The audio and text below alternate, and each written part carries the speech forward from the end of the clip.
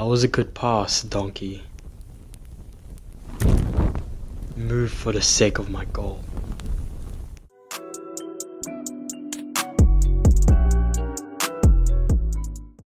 I have to update my understanding on a fundamental level.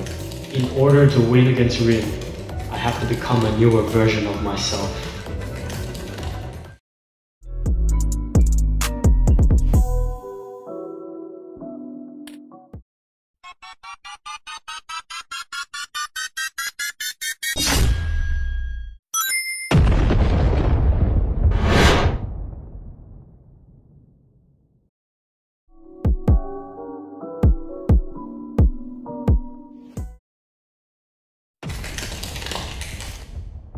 I devoured you.